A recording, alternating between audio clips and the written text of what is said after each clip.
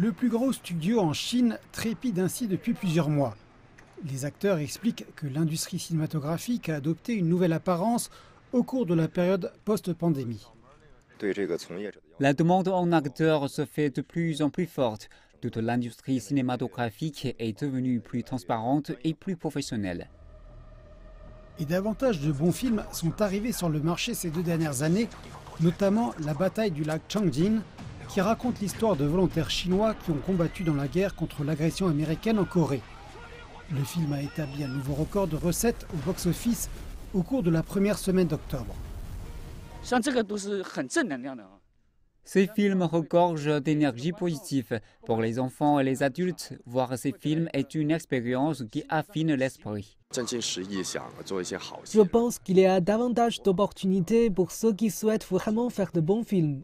C'est une industrie qui a besoin d'œuvres motivantes sur des thèmes de types différents.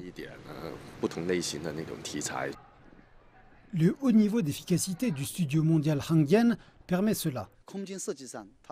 Le studio est conçu avec une double passerelle et équipé de monte-charge et d'ascenseurs pour faciliter le transport par l'équipe de toutes sortes de matériel d'éclairage et de tournage.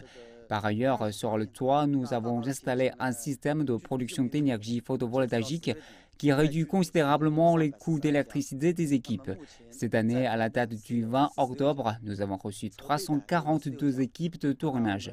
Pour l'instant, 46 d'entre elles travaillent à Hongdian et 56 autres prévoient de venir tourner ici. Selon les statistiques de Sinolink Securities, les revenus totaux pendant la première semaine d'octobre approche des 4,4 milliards de yuan, soit plus de 680 millions de dollars, ce qui est très proche de la même période en 2019.